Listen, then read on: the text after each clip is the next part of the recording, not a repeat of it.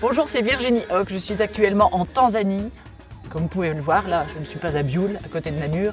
Et je suis là pour voir tous les projets qui ont déjà été concrétisés par Île de Paix. Alors à moi de vous dire un énorme courage pour le 13, 14, 15 janvier. Ça en vaut la peine. Vous faites ça super bien. À très vite. Bisous.